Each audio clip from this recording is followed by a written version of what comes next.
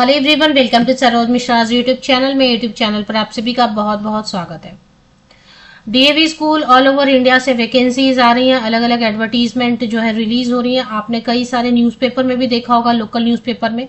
आप जिस स्टेट से, आप जिस राज्य से बिलोंग करते हैं, वहाँ से आपने वैकेंसीज देखी होंगी। बड़े बड़े नंबर पर वैकेंसीज आ रही हैं।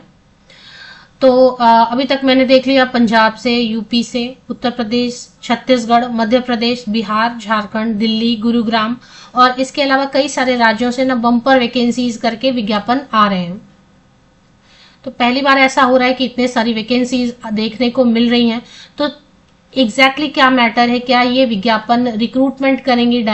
इनसे सीधी भर्ती होने वाली है या मामला कुछ और है? तो ये सारी चीज़ें समझेंगे। सबसे पहले तो ये जानेंगे कि इसमें क्या क्या एडवर्टीजमेंट में दिया गया है। और एडवर्टीजमेंट में जो चीज़ें बताई गई हैं, उसके हिसाब से कैसे एप्लीकेशन करना है नेक्स्ट प्रोसेस क्या होगा, और फिर फाइनली सिलेक्शन कैसे होगी। और इसके बाद मैं ये ज़रूर आपसे डिस्कस करूँगी कि एप्लीकेशन करना है या नहीं करना एप्लीकेशन करना सही रहेगा या नहीं रहेगा सही। क्योंकि इतने बड़े नंबर पर वैकेंसीज ये दिखा रहे हैं तो क्या इतने सारी भर्तियाँ ये करने वाले हैं? या सिर्फ़ पैसे कमाने का एक जो है ना, इन्होंने बहुत सा आसान सा तरीका ढूंढ लिया है कि चलो इतने इतने फॉर्म भरवाओ और इसके बाद इनसे पैसे चार्ज करो। सिलेक्शन दो मत सिलेक्ट करो मत किसी को जो ऑलरेडी काम कर रहे कर रहे हैं और कुछ दो चार कैंडिडेट को हायर करो और भर्ती बता के बहुत बड़ी भर्ती बता के बहुत सारे पैसे जमा करो। तो ये भी एक स्ट्रेटेजी है पैसे जमा करने की। लेकिन फिर भी जो भी डिटेल आ रही है, आपके स्टेट से बिलोंग करते हैं, आप अपने स्टेट की वैकेंसी की नोटिफिकेशन चाहते हैं डीएवी की तो आप अपना स्टेट लिखें। और आप फीडबैक अपना दें कि अप्लाई करना चाहिए या नहीं करना चाहिए। पहले पूरी बात मेरी वीडियो में सुन लें। तो चलिए चलते इस वीडियो में सिर्फ़ मैं दिल्ली और गुरुग्राम पे फोकस कर रही हूँ। ऐसे ही अलग अलग स्टेट से जो वैकेंसीज आई है, सबके लिए मैं अलग अलग वीडियोस बना दूँगी। इस वीडियो में दिल्ली और गुरुग्राम के जो एडवर्टीजमेंट आई हुई है, उसको कवर करेंगे DAV schools Delhi and Gurugram managed by DAV college managing committee Chitragupta road new Delhi. Application are invited from nineteen October to eight November तो एप्लीकेशन करने की जो तिथि, अंतिम तिथि है लास्ट डेट है, वो है एट नवंबर 2024 दिल्ली में जो भी यहाँ पर बताए गए हैं, दिल्ली में जितने भी डीएवी स्कूल्स हैं, उनमें भर्तियाँ ये करेंगे। रेगुलर भी हो सकता है कॉन्ट्रैक्ट पर भी हो सकता है। इस पर भी मैं बात करूँगी कि क्या ये रेगुलर करते हैं कॉन्ट्रैक्ट पर रखते हैं, क्या सैलरी देते हैं। तो दिल्ली और गुरुग्राम में।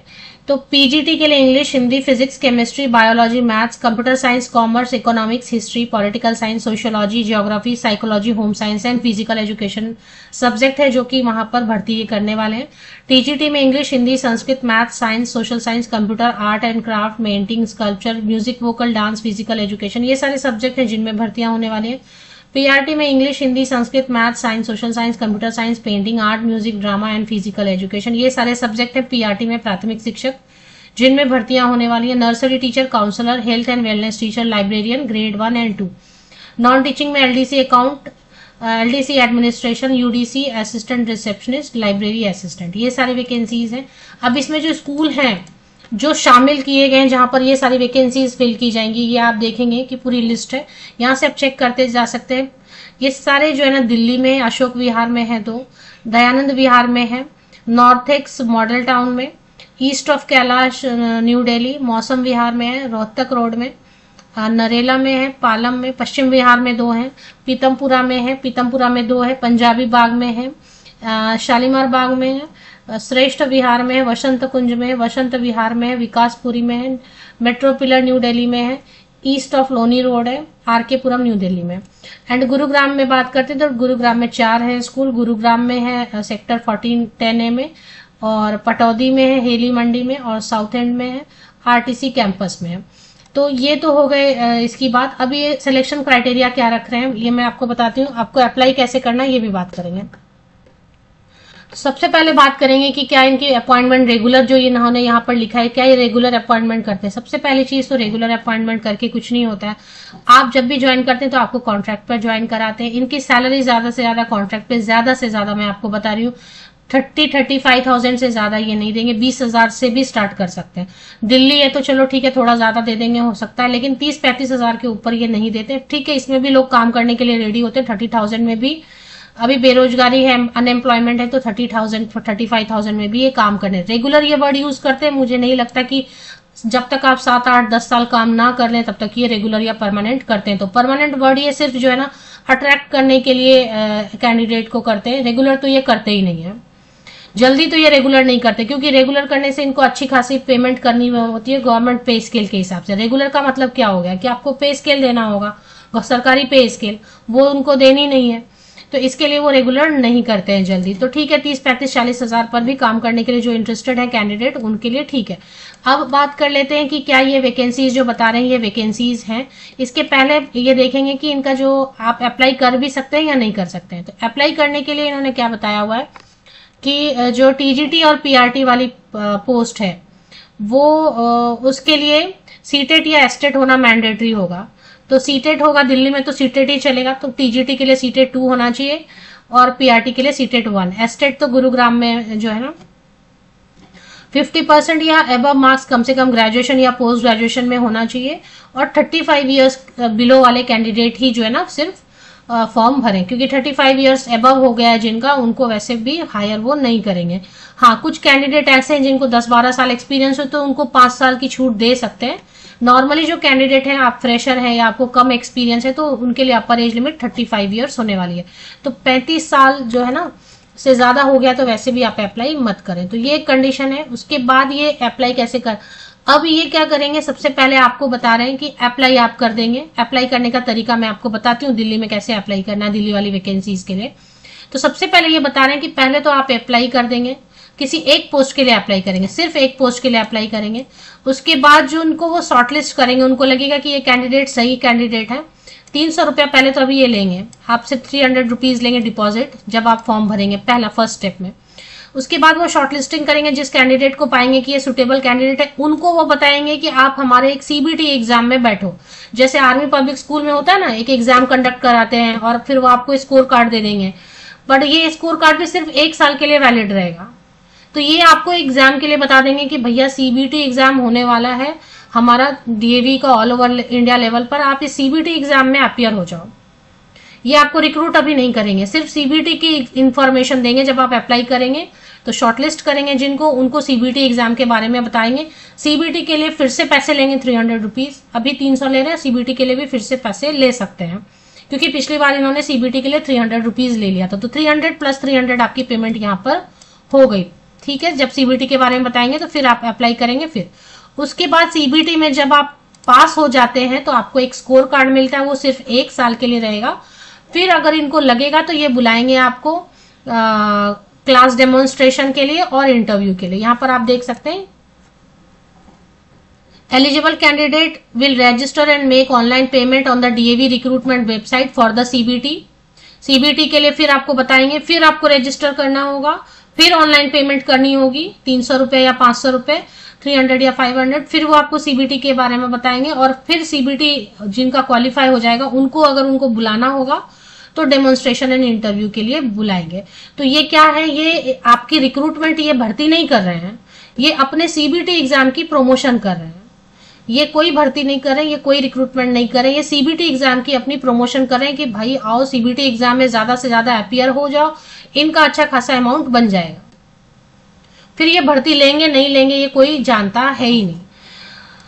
तो क्योंकि वैसे भी डीएवी स्कूल खाली तो नहीं पड़े हुए हैं। डीएवी स्कूल में इतने बड़े लेवल पे पढ़ाई हो रही है तो डीएवी स्कूल खाली तो पड़े नहीं हुए हैं।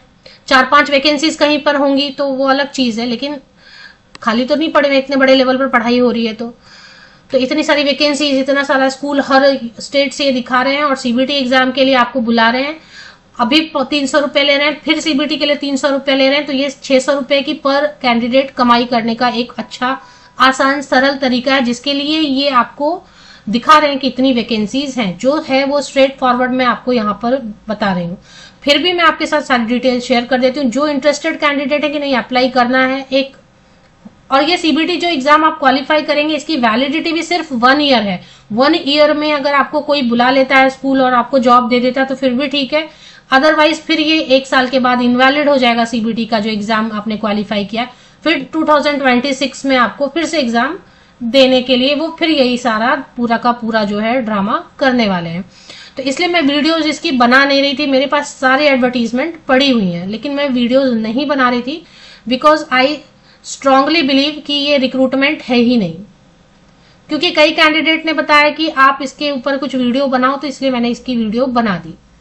तो चलिए, अब जो इंटरेस्टेड कैंडिडेट है, इतनी बात सुनने के बाद अभी भी आपको लगता है कि ठीक है अप्लाई करना चाहिए। एक अपॉर्चुनिटी हाथ में शायद मिल जाए। तो उस शायद के लिए अगर आप अप्लाई करना चाहते हैं तो हाउ टू अप्लाई क्या करना है? फॉर्म दिया हुआ ये रहा फॉर्म ये फॉर्म की लिंक जो दिल्ली और गुरुग्राम के लिए अप्लाई करना चाहते हैं, है ना? तो ये फॉर्म दिया हुआ है। ये फॉर्म आपको भर लेना है। जितने भी टेंथ ऑनवर्ड्स पासिंग सर्टिफिकेट है मार्कशीट है आपकी आ, कोई आइडेंटिटी प्रूफ है जो भी सीटेड किया है आपने बीएड किया है आपने वो जो भी है उसके साथ में आप जो है ना अप्लाई करेंगे। कहाँ पर अप्लाई करेंगे? आठ बजे सुबह से दो बजे तक करेंगे। फॉर्म भरने के बाद थ्री हंड्रेड रुपीज़ आप देंगे कैश में या जैसे वो मांगेंगे। कहाँ पर सबमिट करेंगे? ऑनलाइन नहीं सबमिट करना है। सीबीटी के लिए फिर ऑनलाइन आपको बताया जाएगा। ये चार जगह आपको पाँच, एक, दो, तीन, चार, पाँच जो है ना स्कूल्स बताए गए हैं। इनमें ही जाके आपको पर्सनली सबमिट करना होगा। ये स्कूल वन है, दिल्ली के लिए स्कूल टू है, दिल्ली के लिए स्कूल थ्री है, दिल्ली के लिए स्कूल फोर है। ये जो भी नियरेस्ट वन है, आपके यहाँ पे जाके आप अप्लाई कर सकते हैं। किसी एक पोस्ट किसी एक सब्जेक्ट के लिए सिर्फ़ अप्लाई करना है। एक से ज़्यादा नहीं करना। और गुरुग्राम के लिए यहाँ पे जाके आपको स्कूल में पर्सनली ड्रॉप करना है सुबह आठ बजे से लेके thirty five years and below वाले कैंडिडेट करेंगे मोस्टली जिनके पास बहुत एक्सपीरियंस है, दस साल से ज़्यादा तो वैसे भी लेंगे नहीं थर्टी फाइव ईयर्स के ऊपर लेंगे नहीं। तो हो गया, ये प्रोसेस है। अभी इसको अगर आप दिल्ली वाली एडवर्टीजमेंट खुद चेक करना चाहते हैं तो आप कहाँ पर आएँगे? डीएवी अशोका विहार के ऑफिशियल वेबसाइट की लिंक मैं आपको प्रोवाइड कर देती हूँ। ये डीएवी अशोका विहार की एक वेबसाइट है। इस पे जो है ना, ये देखें recruitment advertisement for DAV school Delhi and Gurugram download यहाँ पर आप एडवर्टीजमेंट देखेंगे और सीबीटी रिक्रूटमेंट फॉर्म डाउनलोड यहाँ पर आप देखेंगे। अब इसके लिए जो है ना, इन्होंने शॉर्ट में बता दिया पीआरटी के लिए सीटेट वन चाहिए और उसके लिए सीटेट टू चाहिए फिफ्टी परसेंट या अब मार्क्स आपको ग्रेजुएशन या पोस्ट ग्रेजुएशन में चाहिए। उसके बाद आपको पीआरटी के लिए जो भी टीचर ट्रेनिंग आपने किया होगा सीटेट वन है तो और आपने जो भी ग्रेजुएशन इज़ मिनिमम रिक्वायरमेंट और पोस्ट ग्रेजुएट टीचर के लिए बीएड मांगते हैं, है ना? और फिर सीबीटी फॉर्म आएगा तो उसमें ठीक से क्वालिफिकेशन और अच्छे से बताई गई होगी। या अगर आप कहेंगे तो मैं फिर से एक वीडियो बना दूँगी एग्जैक्ट क्वालिफिकेशन जो लास्ट ईयर इन्होंने मांगी थी। और सीबीटी एग्ज़ाम क्या ऐसा हुआ था लास्ट ईयर अगर मेरे पास कुछ क्वेश्चन पेपर अगर कहीं मिलते हैं ऑनलाइन तो वो भी मैं सर्च करके रख देती हूँ। अगर आपको लग रहा है कि एक अपॉर्चुनिटी है, हो सकता है जॉब मिल जाए, कुछ चांसेस है टेन फिफ्टीन ट्वेंटी परसेंट आप अप्लाई करना चाहते हैं मोस्ट वेलकम लिंक आपको मेरे इसी यूट्यूब वीडियो के डिस्क्रिप्शन बॉक्स में मिल जाएगी, इसी वेबसाइट की. इस पर ही आपको फॉर्म मिल जाएँगे. सारी प्रोसेस मैंने अप्लाई करने की बता दी. ऑफलाइन मोड में अभी अप्लाई करना है. जो शॉर्टलिस्ट होंगे, उनको सीबीटी के लिए बुलाया जाएगा. उसकी रजिस्ट्रेशन फिर से करनी होगी आपको. अगर आप सीबीटी के लिए रजिस्टर नहीं करेंगे तो फिर ये जो आप तीन सौ रुपया लगा रहे हैं, वो वेस्ट हो जाएँगे आपके. प्रोसेस ठीक से समझ लें, ठीक से समझें, उसके बाद ही अप्लाई करें, क्योंकि 300 प्लस तीन सौ, छह सौ रुपए की बात यहाँ पर सीधी सीधी बनती है।